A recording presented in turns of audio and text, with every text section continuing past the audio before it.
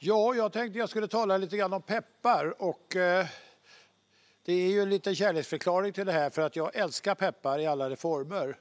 Och eh, bland annat så har jag en sak som jag tycker väldigt mycket om och det är vitpeppar. Och speciellt när jag rostar den. Så jag häller den i en torr panna så här. Och så låter jag den bli varm och rosta så får vi den här fin, lite krispig. Och det kommer en helt annan smak fram. Medan pepparn rostar här så har jag här en gammal kär vän. Jag hade ju restaurang en gång på Kanarieöarna i Spanien. Och det hade ett helt träd där det växte rosépeppar. Dekorativ naturligtvis. Inte så populär längre som den var en gång i tiden.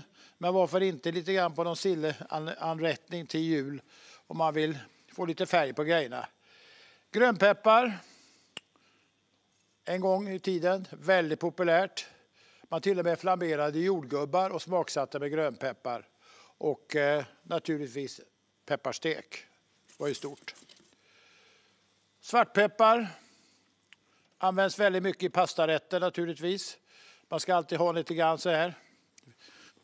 Sen har vi då kryddpeppar. Otroligt populärt i Sverige på grund av vår silltradition och eh, vår husmanskost. Så jag använder ofta kryddpeppar. Underbar krydda, tycker jag.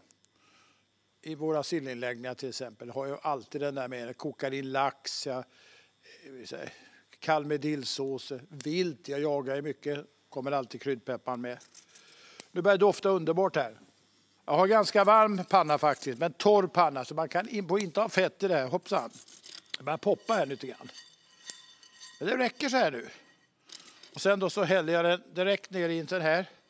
Jag har ju mina pepparkvarnar alltid laddade med, med rostad vitpeppar naturligtvis.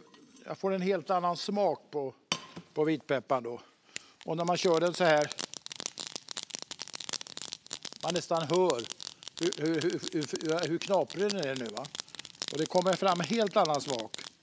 När jag gravar lax hemma, vilket jag, jag tycker väldigt mycket om grava lax, då har jag alltid rostad vitpeppar i och gnider in laxen ordentligt. Får en fantastisk pepparsmak på laxen på det viset. Så. Varsågod smaka. Gott. Tack ska ni ha.